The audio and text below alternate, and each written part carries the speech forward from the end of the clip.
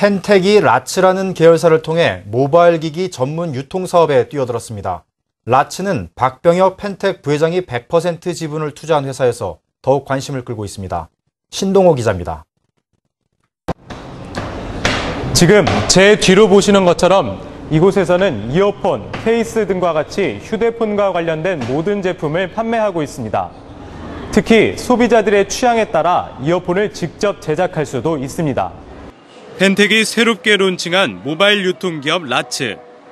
이번 달부터 시행된 휴대폰 자급제 제도에 맞춰 휴대폰과 모바일 기기의 유통과 총판이 가능한 전문점 형태를 띱니다.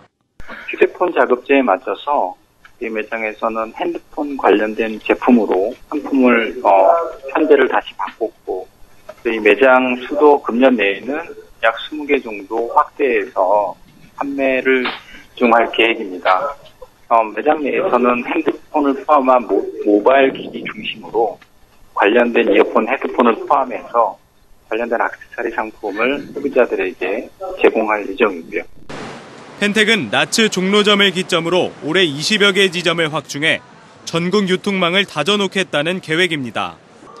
라츠가 더욱 주목을 받는 것은 휴대폰 신화를 써온 박병엽 펜텍 부회장이 직접 지휘를 하고 있기 때문입니다. 라츠는 박 부회장이 직접 지분 100%를 확보한 물적 분할 회사입니다. 그동안 단말기 제조업체들이 계열사를 차려 사업을 확장했던 것을 오너가 직접 챙기고 있는 것입니다. 펜텍과 지분 관계가 없어 이를 신사업의 테스트 베드로 활용해 경영의 위험성을 줄이겠다는 의도를 엿볼 수 있습니다.